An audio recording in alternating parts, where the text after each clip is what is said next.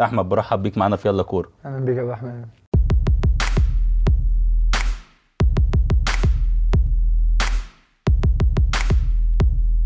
عايز أبدأ بيك بقى مشوارك وتألقك على مدار موسمين لفت الأنظار انضميت لمنتخب مصر. إيه اللي فرق في آخر موسمين معاك؟ والله طبعا أنت عارف إن أي حد فينا الاستمرارية في اللعب وكتر الماتشات بت بتجيب مستوى بتجيب أداء. فأنا الحمد لله دي رابع سنة ليا في النادي. يمكن أول سنتين كان ال- الحمد لله كان الأداء كويس بس ما كنتش بلعب كتير في في مكاني فما كانش ده اللي مبين قوي يعني المستوى. لكن من تاني سنة كده آه، لما لعبت في مكاني بقى فالحمد لله يعني مع مع تطور الأداء مع الماتشات مع المواقف مع الخبرات كل حاجة بتفرق طبعا. عايز اتكلم على بطولة السوبر اللي أنتوا حصلتوا عليها في بداية الموسم. أكيد بطولة خاصة أول بطولة لنادي طلائع الجيش. عايزين نعرف إيه اللي حصل وإزاي أنتوا قدرتوا تكسبوا البطولة قدام النادي الأهلي. أنت طبعا وأنت بتلعب في نادي يعني مش زي مثلا الأهلي أو الزمالك أو الإسماعيلي أو الأندية بتاع البطولات. أنت معنى إن أنت تلعب على بطولة دي يا عالم هتحصل تاني ولا لأ؟ فإحنا كان كلامنا مع بعض إن إحنا ضاع مننا فرصة كأس مصر. ف يعني ما كانش في نصيب بس ربنا مدينا فرصة تانية السوبر. إن إحنا كنا عارفين ومتأكدين إن مستحيل الجيل ده أو من صعب جدا الجيل ده يلعب بطولة تاني أو يلعب نهائي تاني. إحنا قلنا ماتش ببطولة. هنركز فيه كويس ونشتغل كويس ون- ونستعد له كويس. وفعلا كلنا كنا عايزين نعمل حاجة لنفسنا لأن أنا شايف إن البطولة بره الأهلي والزمالك طعمها جميل يعني آه، حلوة. لأن أنت مين كان يتوقع إن نادي الجيش يكسب نادي الأهلي في السوبر؟ كان صعب. الفوز ببطولة السوبر ده حط عليكم ضغوطات في الدوري إن الناس مستنية بقى طلائع الجيش يظهر بشكل كويس جدا بشكل قوي تعاقدتوا مع لعيبة ليها أسمائها في الدوري ده حطكم تحت ضغط وده اللي أدى لاهتزاز النتائج في بداية الدوري؟ ده ممكن شوية لكن هو دايما اللي متابع النادي فرقتنا طلائع الجيش دايما إحنا في أول السنة بيبقى دي البداية دايما بدايتنا بتبقى وحشة. هقول لك ليه يمكن الكلام ده ممكن أول مره اقوله أو أول مرة حد ياخد باله منه. دايما نادي الجيش بيمشي منه عدد لعيبة كبير في كل سنة وبيجي عدد لعيبة كبير. فعقبال ما بنتأقلم مع بعض يمكن أنا أنا شفت الكلام ده لأن دي رابع سنة ليا فأنا عدى عليا كذا كذا يعني كذا سنة فشفت الكلام ده. بيمشي مثلا 10 لعيبة بيجي زيهم أكتر. العشر لعيبة دول بعد ما مشيوا كنا خلاص اتأقلمنا ولعبنا مع بعض عدد ماتشات كتير وأنا حفظت آه، فلان وفلان ح- كده. لكن بعد كده بيجي مثلا لعيبة جديدة عقبال بقى ما بنتأقلم وعقبال ما أنا بحفظ اللعيب ده وهو بيحفظني وبنعرف نشتغل مع بعض كويس في الملعب وناخد على بعض في الملعب وهو يعرف طريقة لعبي جدا وأنا أعرف طريقة لعبه جدا لأن الماتشات مهما كانت الماتشات الودية ما بتبقاش زي الماتشات الرسمية. فبناخد وقت عقبال ما نتأقلم. بس أول ما بنتأقلم وبن بن... بن... بنخش في جو الماتشات الموضوع بيختلف. ناس كتير جدا من جمهور الزمالك اللي بتفهم عارفة ان إن أحمد سمير من حقه إنه في ماتشات الزمالك يجيب اجوان ويعمل اجوان ويكسب. حقي. أنا ما عملتش حاجة غلط. لكن الموضوع بقى إن أنت تدخل الموضوع في إن أنت بتغل قدام الزمالك وبتيجي قدام الزمالك تبقى عايز ما أنا عايز أخدك للنقطة دي بقى. إيه اللي بيحصل؟ ما بيحصلش حاجة والله. ه... هقول لك حاجة. أنا السنة اللي فاتت جايب 11 جون ولا جون في الزمالك. ما حدش قال حاجة. لكن لو كنت جبت فيهم جون في الزمالك كان يبقى ال 11 جون اتركنوا والزمالك جون الزمالك هو اللي بس كان نفسك تجيب جون في الزمالك؟ أنا نفسي كل ما العب الزمالك أو الأهلي أجيب جون. مفيش حد مش نفسه. أصل بص الماتشات دي ماتشات بتفرق معاك. يعني الماتشات دي ماتشات بتفرق. لأن أنا دايما بقول إن إحنا في مصر الحتة ال ال ال الإعلامية بتتسلط جدا على ماتشات الأهلي والزمالك. سواء بقى الأهلي هيلاعب الجيش هيلاعب المقصة هيلاعب ايا كان الفرقة اللي هتلعبها. أنت وأنت رايح عارف إن الماتش عدد كبير جدا من الناس هيتفرج عليه. بحكم إن الأهلي نادي جماهيري كبير ونادي الزمالك نادي جماهيري كبير. فالطبيعي إن أنت لما تبقى كويس وتتألق في الماتش الناس هت هتشوفك وهتعرفك أكتر. وياما الماتشات دي عملت نجوم بس وياما مش مش مرة ولا اتنين ولا تلاتة ولا أربعة. انت ماتشات كتيره قدام الزمالك بتجيب أهداف وبتحرز أيوة، أهداف أيوة. وأهداف مؤثرة ده خلي بالك الموضوع ده من وأنا في الداخلية قبل ما أروح الزمالك. يعني قبل ما أروح الزمالك وأنا في الداخلية جبت جون في الزمالك. يعني ما كنتش لسه رحت الزمالك بقى. وكنت عامل ماتش كبير جدا قدام الزمالك. فهو الموضوع ممكن يكون فيه توفيق شوية قدام نادي بقيت الزمالك. تتوقع إن أنت هتحرز أهداف قدام نادي الزمالك من كتر ما الموضوع ده بيحصل؟ آه. ما هو أقول لك حاجة أنت أنت لما بتجيب مرة جون والتانيه بت... بتبقى عندك ثقة شوية.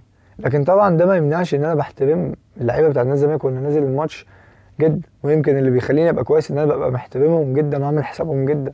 فدي دي اللي بتديني ال- يعني الأفضلية شوية إن أنا ببقى نازل مركز عشان عارف إن أنا هلاعب فريق محترم وفريق كويس فلازم اديله حقه. عرفت كده من الكواليس إن في لعيب من الزمالك في مباراة قال لك آه، خلاص بقى يا سمير أو خف شوية يا سمير بلاش تجيب النهارده. لا ده هو في مرة هو ما بقاش لعيب في الزمالك يعني أنا احكيها دلوقتي عشان هو مش ف... وإحنا بنلعب في, ال... في السويس كان كهربا وأنا ب... الجون الأولاني أنا جبته كده بطريقة حلوة يعني. فأنا بشوط الكورة بعد ما جت فسمعت ورايا قال لي إيه يا ابن اللعيبة. من شكل. من شكل الجون يعني. فجينا بعد الماتش بقى كلمني وبتاع ف... فحكيتها أنا يعني الموضوع ده بس هو دلوقتي ما مش موجود في نادي الزمالك فأحكيه عادي يعني. لكن لا في حصل موقف زي كده في في ماتش الكاس. كنت نص نهائي. آه كنت جبت جونين. لا كنت جبت الجو... آه الجون الأولاني فاول. وجي جون تاني فاول. فكان شكا... كابتن شيكابالا كان جاب جون قبلها فاول برضه. فأنا رحت ألعب الفاول كان قريب. فراح جه باصص لي كده وبهزار يعني. قال لي إيه مش خلاص كده ولا إيه؟ قلت له يا كابتن قال لي لا خلاص سيب الفاول ده ما تلعبوش. قلت له ألعب ده وخلاص يا كابتن. قال لي لا خلاص كفاية أنت جبت واحد خلاص سيبه لأي حد. فأثر على تركيزي شوية فلعبته بس ما ده كان كام كام ساعتها؟ كان واحد واحد. هو الماتش ده خلص واحد واحد ولعبنا وقت إضافي. إحنا بقى جبنا جونين في الوقت الإضافي وكسبنا يعني وصعدنا. كنت أنا برضه جبت الجون التاني. كان بيلين وأنا اللي جبته. يعني. كل ده بي بيحطك أنت تحت ضغوط بعد كده في المباريات اللي بتلعبها قدام أهلي وزمالك إن أنا لازم أبقى أظهر بشكل كويس وإن أنا أظهر بشكل فعال؟ خلي بالك أنا كل الماتشات اللي بلعبها بحط نفسي تحت ضغوط إن أنا لازم أبقى أظهر بشكل كويس وشكل فعال. أحمد سمير كان من ضمن الناس اللي ممكن تكون ماشية وجالها عروض في بداية السنة وعروض قوية كمان. كان عايزين نعرف منك إيه هي العروض وليه الأمور ما مشيتش إن أنت تنتقل لنادي تاني؟ كان في عروض كتير. لكن سبب ال- المشيان أنا مش عارف. يعني هو طبعا النادي إيه، متمسك بيا جدا. وشايف إن أنا لو خرجت من النادي ممكن النادي يتأثر شوية. أنا طبعا بحترم وجهة نظرهم في كده وما أقدرش يعني أعتقد أنا أنا لعيب أنا محترف أنا ليا عقد ملتزم بيه مع النادي. بيجي لي عروض وبيجي لي حاجات ممكن كمان النادي يستفاد منها. بس النادي بيقف أول السنة دي كان في فيوتشر وكان في سيراميكا وكان في إنبي وكان في البنك وكان في النادي المصري. كنت قريب برضه النادي المصري. أعلاهم ماديا اللي وصل لنادي طلائع الجيش كان انهي عرض اللي حسيت إن هم فعلا متمسكين بيك جدا. لا هم كلهم على فكرة. كل ال- الأندية اللي أنا بقولها دي كلهم كانوا متمسكين بيا جدا وكلهم يعني آه، كان كان الكلام اللي بيتقال إن اللي أنتوا عايزينه إحنا يعني قولوا لنا أنتوا عايزين كام وطلباتكم إيه وإحنا ما عندناش مشكلة. انت عقدك يخلص إمتى مع الجيش؟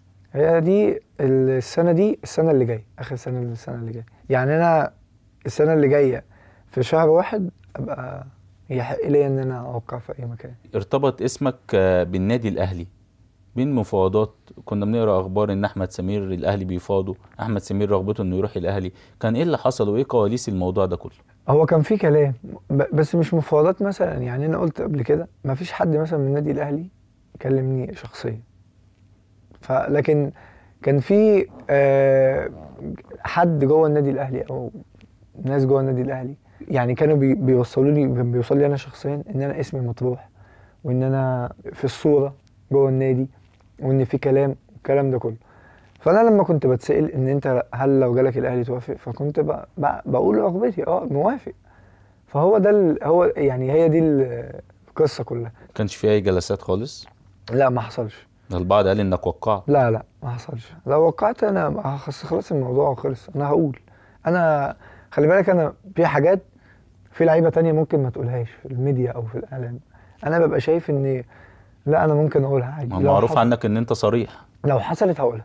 يعني لو حصلت هقولها لكن ما حصلتش والله. حاسس من كلامك إن أنت فقدت الأمل شوية؟ ممكن يكون اللي عطل موضوعي شوية في النادي الأهلي إن الاهلي النادي الأهلي اتعاقد اتعاقد مع تاو وبعدها اتعاقد مع ميكيسوني. فممكن يكون ده شوية يعني ممكن يكون ده اللي قلل ال- المفاوضات شوية أو أو قلل الاهتمام شوية. لكن أنا ما عنديش ما يعني أنا ما بفقدش الأمل. أنا شايف إن هي خطوة هتبقى كويسة ليا وأنا شايف إن لسه إحنا لسه السنة موجودة وشغالة وأقدر إن أنا أكمل على مستواي وأحافظ على مستواي علشان السنة الجديدة يبقى ممكن يبقى في كلام تاني. تصريحاتك إن أنت عايز تنضم للنادي الأهلي وإن أنت بتحب جماهير النادي الأهلي دي خلت بعض جماهير ال- الأندية الأخرى أو الزمالك بالأخص بيقول إن أحمد سمير بيقول كده عشان يخلي الجماهير تقف في ظهره وإن الجماهير تطالب إن هو يبقى موجود. الكلام ده فعلا كان في حساباتك وأنت بتقول كده؟ لا. هو أنا أنا هقول لك حاجة. أنا ال- الكلام اللي أنا اتكلمته بناء على رد فعل. يعني هقول لك إزاي. لما اسمي اتطرح أنا شفت قبول كبير جدا وناس كتير جدا كان بتقابلني ممكن في الشارع تكلمني. فدي حاجة بسطتني. يعني أنت تخيل أنا لعيب ما دخلتش النادي واسمي بس ارتبط بالنادي ولقيت فيه يعني قبول كبير جدا ورد فعل كويس. أنا ما قابلش رد فعل ده بشكر أو إن أنا ابقى, حاجة تبسطني. لما كنت بتسأل كنت بقول إن أنا بشكر الناس اللي هي بتتكلم عليا كويس أو نفسها إن أنا أبقى موجود. وده حاجة يعني هتبسطني إن أنا من غير ما أكون موجود والناس حباني. فدي حاجة ما تزعلش. أنا مش ع... أصل هقول لك حاجة هو الجمهور لما يضغط أو أنا أستغل حاجة زي كده والنادي الأهلي مش عايز أحمد سمير إيه اللي هيحصل؟ مش هيجيب ال- ما هو الأندية الكبيرة لو لو ابتدت تخضع بضغط الجماهير والكلام ده يبقى الجماهير اللي هتمشي النادي لكن في إدارة وفي مسؤولين هم اللي مسؤولين عن الكلام ده. فده دي دي حاجة ملهاش علاقة. أنا لو ما بعملهاش عشان حاجة أنا بعملها عشان رد الفعل اللي أنا لقيته بس زعلت منك جمهور الزمالك؟ هو جمهور الزمالك كده كده زعلان. يعني عادي ما جاتش على دي. هسيب فترة تألقك في الجيش وهنزل شوية. كانت فترة صعبة قبل ما تروح طلائع الجيش. الفترة دي كان بعض المقربين بيه قال لك إن أحمد ممكن يعتزل كرة القدم بسبب الدروبات اللي حصلت بص هو الدروب حصل من بعد ما, مشيت من النادي الإسماعيلي وساعتها نادي الزمالك طلعني النادي المصري أعارة ما أنا ما كنتش. يعني ما كنتش موافق ليه ما كنتش موافق؟ آه أنا كان في الوقت ده كان جاي لي عروض تانية وأنا كنت حابب ان أنا اروحها. فنادي الزمالك كان عايز يعمل زي صفقة تبادلية بين النادي المصري ونادي الزمالك. فانا مش مش تقليلا من النادي المصري أو كده لكن أنا كان رغبتي ساعتها ما كانتش كده. فنادي الزمالك يعني اجبرني على كده. وكان النادي الزمالك اعلن ان أنا وقعت النادي المصري وان الصفقة تمت وكده وأنا ما عملتش حاجة. فخلى كل الأندية التانية تقفل خلاص. اللي كان عايزك أو بيكلمك خلاص. ما هو انت وقعت أو رحت المكان. بعد ما رحت قابلت بقى شوية صعوبات كده يعني مع كابتن حسام. إيه الصعوبات؟ كان في شوية مشاكل حصلت بيني وبين الكابتن حسام. أبرزها. أبرزها إن كان في أوقات كده الكابتن حسام كان بيحس إن أنا دايما عايز أرجع النادي الزمالك وأنا عشان رايح وأنا مش عايز أروح إن أنا مثلا ممكن أكون زهقان شوية أو زعلان. فكان بيحصل خلافات كده يعني فدي أدت لعدم لعبي خالص. ويمكن ساعتها كان حصل لي آه، إصابة كده في كتفي قعدتني يمكن ست شهور مثلا ولا حاجة مع المشاكل فدي بعدتني خالص عن الملعب. أدي يعتبر سنة ضاعت. بعد كده لما رجعت من الإصابة رجعت على وادي دجلة كان كابتن ميدو ساعتها اللي موجود. رحت أنت طبعا راجع من من عدد كبير جدا من الأيام ما بتلعبش وبعيد. ف في بداية السنة كانت النتائج وحشة مع دجلة يمكن بدأت ولعبت بس كانت النتائج مش كويسة فما ساعدتش. وأنا كنت محتاج في الوقت ده إن أنا حد اولا يصبر عليا وثانيا إن تكون في فرقة يعني النتائج كويسة عشان يبقى الناس تشيل بعض. فما حصلش نصيب. وال- والنتائج كانت وحشة فما بقتش ألعب. بعد كده كابتن ميدو مشي وجه كابتن طارق العشري ابتديت أدخل معاه شوية. بس كان ساعتها نادي الاتحاد السكندري كان كلمني يعني إن أنا أروح ست شهور. فرحت لما رحت كان مستر مكيدا برضه لسه جاي. كان الفرقة أنا رحت والدوري شغال. فالفرقة كانت بتلعب. وأول ما ما رحت كان الفرقة نتائج وحشة. وأول ما مستر كده جه لعب بفرقة والفرقة دي كسبت واتعادلت فحب يثبت التشكيل. فبرضه كنت بعيد. هي دي الفترة يعني ال- السنتين اللي هم بعدت بعدوك خالص. بعدت فيهم خالص. رحت الزمالك من الداخليه وأعتقد إن البداية ما كانتش أفضل حاجة. قدام الأهلي في السوبر ضيعت ضربة جزاء والزمالك فقد البطولة. تمام. إيه اللي حصل بعد كده جوه نادي الزمالك والظروف اللي أنت تعرضت ليها وأسباب الرحيل؟ البداية فعلا ما كانتش أحسن حاجة. أنا يمكن ماتش السوبر ده لما نزلت ضيعت البيلين فرق معايا شوية. لكن بعد كده أنا لعبت وكنت ظهرت بشكل كويس و... وعملت ماتشات كويسة وكسبنا الدوري وكسبنا الكاس ولعبنا قبل نهائي الكونفدرالية. حاجات كتير. كنت قلت إن طريقة رحيلك عن نادي الزمالك آه، كنت زعلان منها. كنتش تتوقع ان هي تكون بالطريقة دي. أه، مش أنا بس كل الناس اللي مشيت. ما أنا بقول لك أنا كنا بنلعب ماتش بتاع ال- اللي هو الاختتام بتاع حفل التتويج بالدوري. وبعد كده قالوا لي انت عندك اجازة. فاستغربت يعني وكان عندنا ماتش بعدها في الكونفدرالية. بعد كده روحت عرفت إن ال- اللعيبة اللي خدت اجازة دي اللعيبة مشيت. مين بلغك؟ كان كان كابتن أحمد عبد الملك ساعتها اللي بلغ هو اللي اتصل بيا يعني. ده كان لعيب معاك في الفرقة؟ آه آه. بس هو كان عارف. لأن هو كمان كان كان من اللعيبة اللي مشيت. ونروح للفترة الأكثر توهجا وانضمامك لمنتخب مصر. انضميت لمنتخب مصر بعد تألق كبير مع طلائع الجيش وصف لي بقى شعورك وانت راجع تاني المنتخب. كان أول تجمع رحته كان في 2013 2014 كان مع مستر برادلي كان رحت معاه تجمعين ولعبت معاه ماتشات ودية كان فترة كويسة. بعد كده بقى كل الفترة اللي أنا بحكي لك عليها دي بقى كان كلها يعني مشاكل. وبعيد بعدين رجعت تاني. بعدين رجعت. قعدت من أول سنة في الجيش وأنا دايما ممكن اسمي يرتبط بالمنتخب شوية بس ما حصلش نصيب. اسمي يرتبط بس لحد فترة الكابتن حسام البدري ال- الاتحاد وال- وال- والجهاز الفني للمنتخب طلب ال- ال- جواز السفر بتاعي. فبرضه كان أوقات يجي تجمعات وما بروحش. أوقات فما كنتش بزهق وما كنتش. بزعل لأن بقول لسه يعني ممكن تكون ربنا شايل لي خير في وقت تاني. لحد بقى ما جه مستر كيروش كان أول معسكر بعد السوبر على طول. كان ربنا كرمني وكنت عامل أداء كويس في ماتش السوبر و... وعملنا ماتش كويس. فرحت بقى. إحساس طبعا ما يتوصفش إن أنت تحس إن أنت بعد مشاكل كتير و- ومعاناة وماتشات يعني كتير قوي فاتتك وحاجات كتير قوي فاتتك و... وممكن يكون سنة أو سنتين ضاعوا. وترجع تاني تحس إن أنت تعبك ومجهودك. واللي أنت عملته أو اللي أنت بتعمله أو بتحاول تعمله ما ضاعش. دي حاجة كبيرة جدا يعني تفرق مع معايا تفرق معايا نفسيا ومعنويا وكل حاجة. يمكن برضه أنا في معسكر المنتخب يعني كان حظي وحش شوية لأن في الماتش الودي اللي لعبناه كان محمد شريف طلع وكان ال forward اتصاب فلعبت forward. بعد كده كان ال- التلاتة back left كان فتوح اتصاب ومحمد حمدي لعب اتصاب. وخرج وأيمن أشرف لعب back left كان بيلعب third back لعب back left واتصاب وأنا رجعت لعبت back left. من forward ل back left. آه ف ويمكن ساعتها حصل حاجة يعني حتى يمكن في الأوضة بعد الماتش مستر كيروش يعني اعتذر لي قدام اللعيبة بشكل يعني كويس إن هو أنا ما لعبتش في مكاني. بيقول لي يعني أنا أنا بتأسف لك وعارف إن ده مش مكانك وعارف إن أنا ما لعبتكش في مكانك. ف إن أنا بعتذر لك وكده فكانت حاجة كويسة يعني بالنس- بالنسبة لي إن هو مقدر حاجة زي كده. لكن طبعا كان كان بالنسبة لي شعور كبير احس إن أنت تعبك ومجهودك أنت بتلاقيه. فالحمد لله وربنا يكرم إن شاء الله. أنا دايما برضو رغم تألقك ما كنتش موجود بعد كده بقى في آه، بطولة العرب؟ آه ما هو أنا بقى دايما عشان ما ما اللي اختلف فيا في تفكيري قبل كده إن حاجات زي كده كانت ممكن تأثر فيا. لكن دلوقتي بقيت عارف إن ربنا ما اختارش خلاص ماليش نصيب.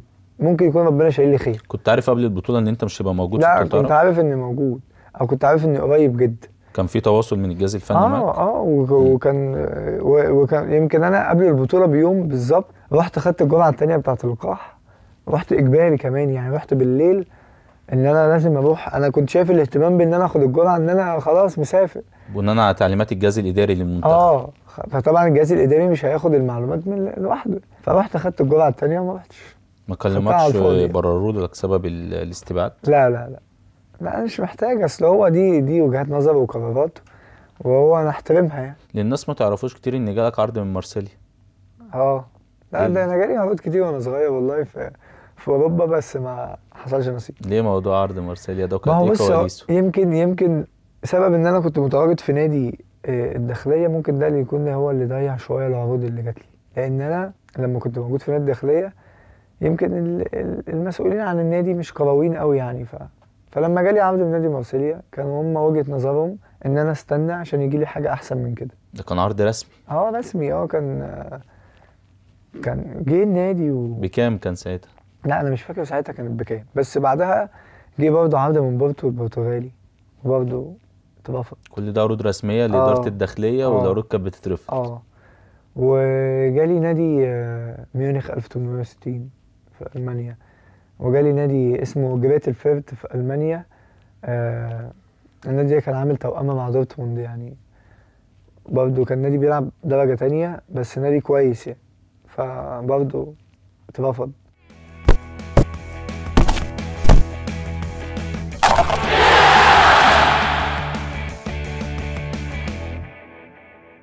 التشميسة غيرت لون شعرك أنت وباسم مرسي في آخر مباراة للزمالك بالدوري. الفكرة كانت إزاي؟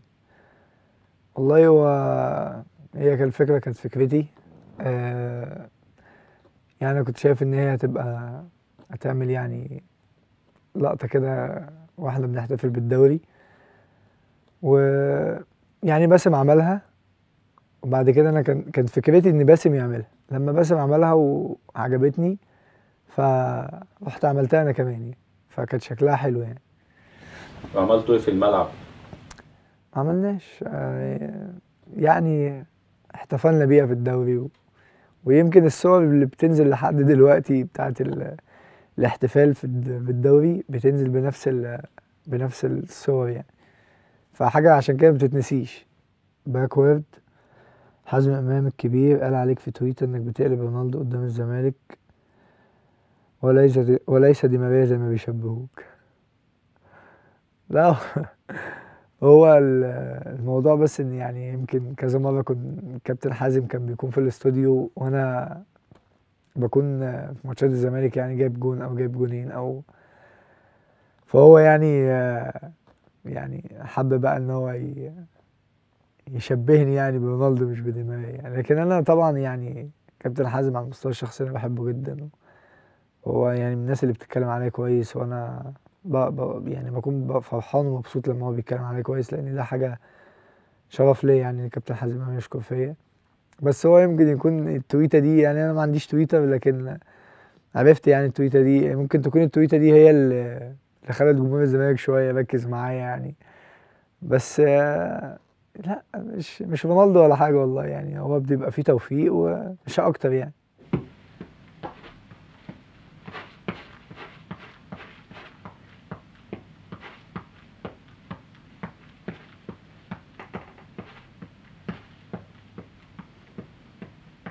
شفت تصريح كابتن طارق يحيى بعد ماتش الزمالك بتاع "أنا ربنا نصرنا. والله بص أقول لك حاجة أنا كنت في الماتش ده بعد ما خلصنا وروحت بعدها بفترة كده ابتديت الاقي إيه آه كوميكس كده على ال- على التصريح ده بس أنا ما كنتش عارف مش فاهم يعني. بس جبت الفيديو فشفت بقى شفت بقى التصريح بس مش عارف يعني كابتن طارق ساعتها مش عارف ليه عمل كده بس أنا بعد كده عرفت إن هو كان عنده ضغوط وحاجات كده ف مفيش حد من اللعيبة نكشوا ساعتها؟ لا مش عارف والله دي مش فاكر ساعتها بس هو لما أنا شفت الكوميكس يعني قبل بقى يعني لو حتى كنت حاولت أنكشه كان هو بقى يعني كان مشي خلاص. يعني